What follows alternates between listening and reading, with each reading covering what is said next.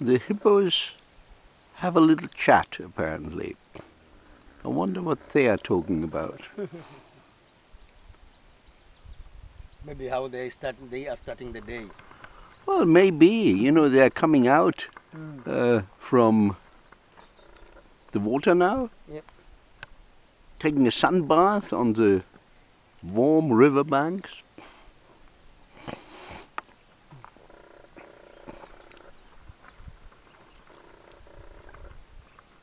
Magnificent scenery. Yeah. Of course, it also shows when I just go a little closer on this one. When the river comes up, this is how high it gets. And when you look across how wide it is, you can imagine the sheer mass of water coming from upstream. Water level surely, Klaus, must be rising by seven, eight meters. That's for sure. And the river flows into the Zambezi. Yes, one of the contributaries. Yes, yes, yes. The, ma- the main Yeah. contributor. Yes. Well, it flows into the Zambezi here in Zambia, In Zambia. not yes. not in Not in- Zimbabwe, in, in Zambia. Zambia. We take a little further look. This is up the river.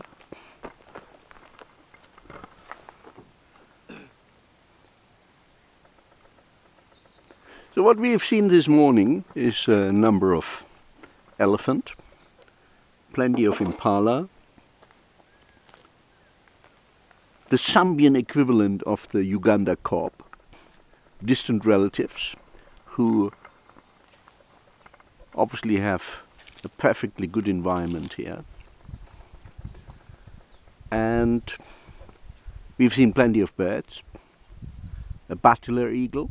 Unfortunately, the light was not good enough to get a good shot of that. But there are a couple of good stills coming up of a lilac-breasted roller we saw. And we saw hornbills and plenty of other birds oxpeckers, a whole flock of them flying out of a thicket when we drove by. And on the other side of the river, I can see again some elephant. Let's see how. That's right.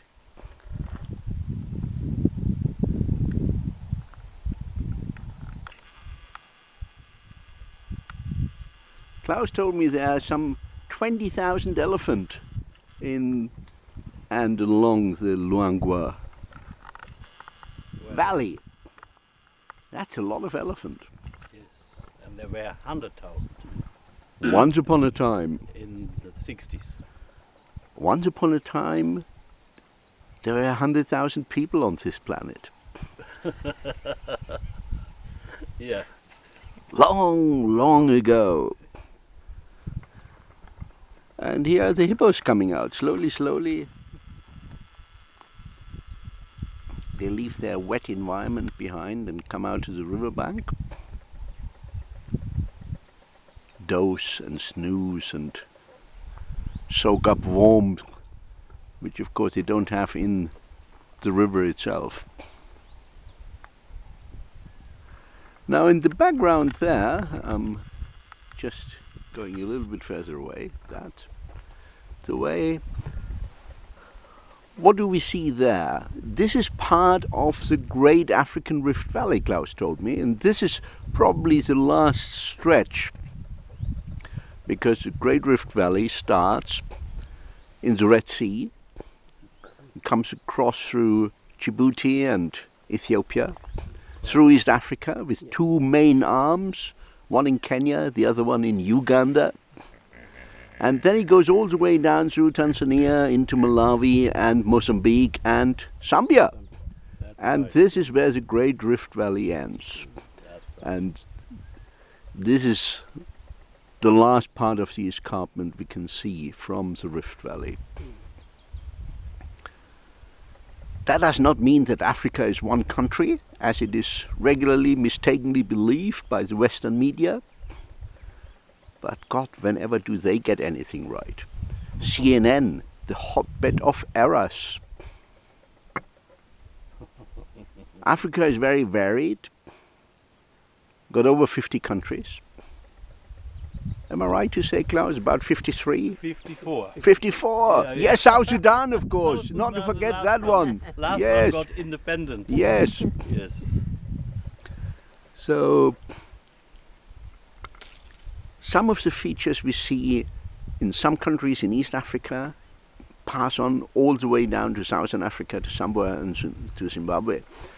And uh, then again, you find very different features in some countries, some absolutely unique, like, of course, the Victoria Falls. You don't find those anywhere else.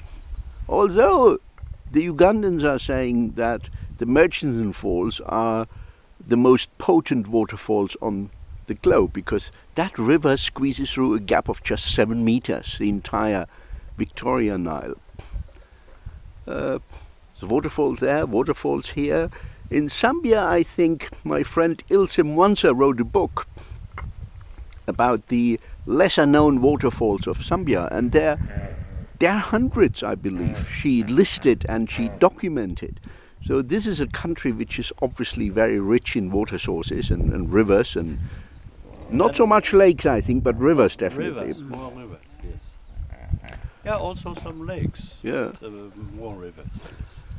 And of course, this river empties, we heard that earlier on, this river empties into the mighty Zambezi. But below the falls, Yes. below the falls. Yeah. Well, you know, a little bit more about my journey through Zambia and into the Luangwa National Park, which is one of the premier parks the Zambian National Park Authority manages. And park entrance for a foreign non-resident costs an astonishing $25, I'm told. Yeah. Unlike in Kenya or in Uganda or in uh, Tanzania, where they just heaped 18% VAT on park entrance fees, where it is very, very much more expensive. So coming down to Southern Africa does have its advantages. Certainly Zambia and Zimbabwe give me the impression that overall, maybe apart from the airfares, I think airfares maybe to Nairobi may be uh, a little cheaper because there is more traffic there. But generally, I think safari holidays here in Zambia and in Zimbabwe are, in comparison, quite affordable. That's true. And there are less people. The camps are smaller, and while they might be full, like where I'm staying uh, right now, uh, they were full last night. There are much more, much less people because uh, this lodge. There you are. Let's just go there and show you what the lodge is called. That's the one, yes. Kafunta. Yes. They only got 10 cabins, two of them suites. So we have seen today in total, just a short while ago, another three vehicles. And before then, and, and in fact, I think two of those we have seen before. Yeah, yeah. So they're together with us. There are probably five vehicles right now in this part of the park, and we've seen the lair of a leopard. We are going back there because lunch is served, as you will see later on. Y- y- you know, the prey is already hanging up in the tree. And we elephant, and you you know this is just something we had to ourselves.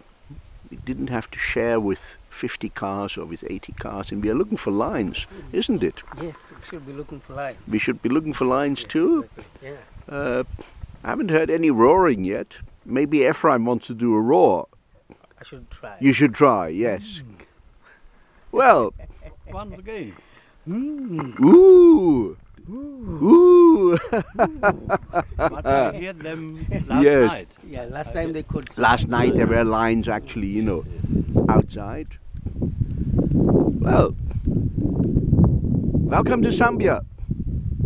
Uh, I must say this was a real eye opener so far, and I'm sure it will continue to be one. Klaus, Yes, please. we'll be talking to you later and get your own impressions of what brought you to Zambia and what you love about the country, what you love about this park, which you have obviously chosen as your residence for half a year, every year when you come down here to manage a small safari camp. Part of Katunda, uh, Kafunta, part, part, part of it, but three hours drive away. We'll talk about that later Pleasure. uh, probably during the course of lunch. Fine, and for you readers and viewers, you've seen through my eyes and through the lens of my camera what I see. And I hope you enjoy what you see. Welcome to Zambia again.